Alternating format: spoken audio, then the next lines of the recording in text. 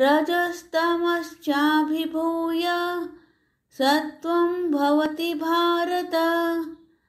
रजः सत्वं तमश्चैव, तमः सत्वं रजस्तथा।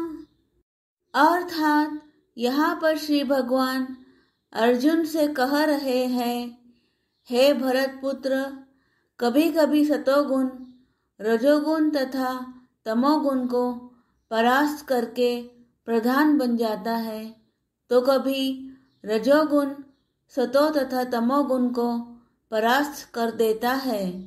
और कभी ऐसा होता है कि तमोगुण सतो तथा रजोगुणों को परास्त कर देता है। इस प्रकार श्रेष्ठता के लिए निरंतर स्पर्धा चलती रहती है।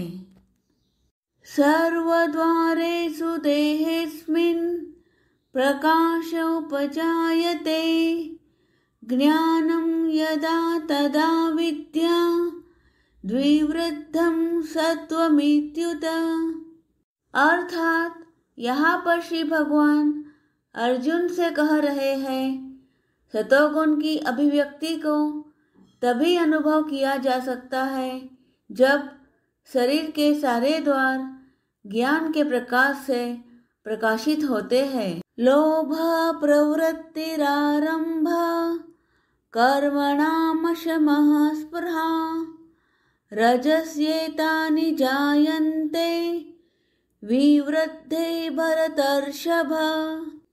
अर्थात यहाँ पर श्री भगवान अर्जुन से कह रहे हैं, हे भरतवंशियों में प्रमुख जब रजोगुण में वृद्धि हो जाती है तो अत्यधिक आसक्ति, सकाम कर्म, गहन उद्यम तथा अनियंत्रित इच्छा एवं लालसा के लक्षण प्रकट होते हैं।